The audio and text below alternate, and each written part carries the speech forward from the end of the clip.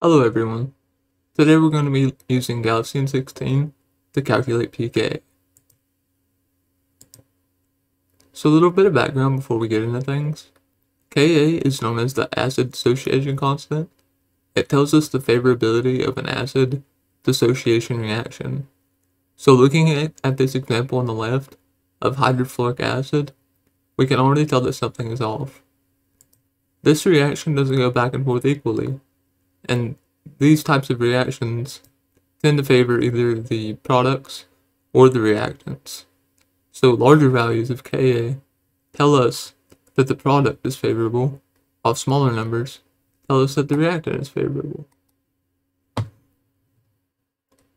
What this indicates is stronger acids will tend to dissociate in solution. Quickly looking up the numbers for this hydrofluoric acid example, we find it has a low pKa, telling us that it doesn't want to dissociate, and it would much rather stay as hydrofluoric acid.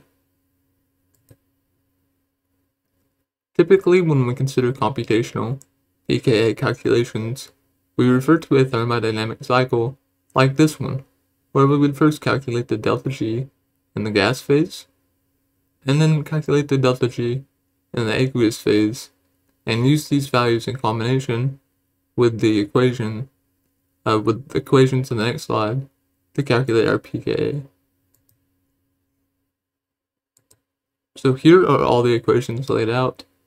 Uh, what you will notice is that the proton already has a value associated with it because it cannot be calculated computationally due to its lack of electron. Uh, this method is used quite frequently in literature for very precise calculations. However, accurate values can still be acquired by using a simpler format, like this one. Here we are simply calculating the delta G for the solution of our acid and its ions. Again, in this we will be using the same value for the proton.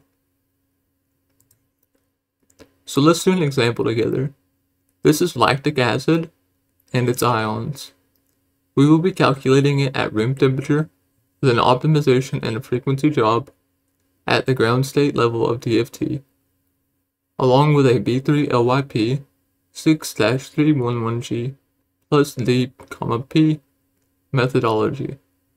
Do note that for your own calculations, you will have to figure out what kind of methodology matches with the experimental data for best. Finally, we're going to perform these calculations with the default solvent model with water as our solvent. So go ahead and go try this calculation by yourself, and then we'll reconvene to compare our numbers. So I will just quickly take you through um, my input files. So on the left hand side, we've got lactic acid, and on the right hand side, we've got our single point energy calculation. So on the left, this is our optimization plus frequency calculation. You can see at the top we've got opt and freq, and then we specified our methodology, and then we used our solvent model. All of this is just geometry, so we don't have to worry about that. Um, and then over here, all we did was use the old checkpoint file from this calculation, and we um, just ran under a simple energy calculation.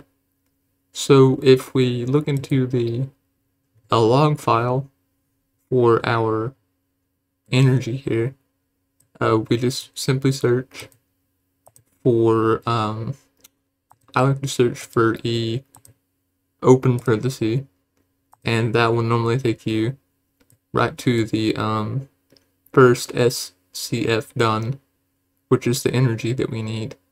So this is the energy that I got for uh, lactic acid, and then you just do the same thing for your anion, and you calculate your delta G that.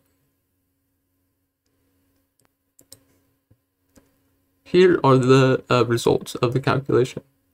As we can see on the bottom, the experimental pKa of this reaction is 3.86, and our computational data suggests that we have a slightly lower pKa with 3.48. This is well within the margin of error. Thanks again for watching, and if you like the content, please consider checking out the rest of the videos on our channel.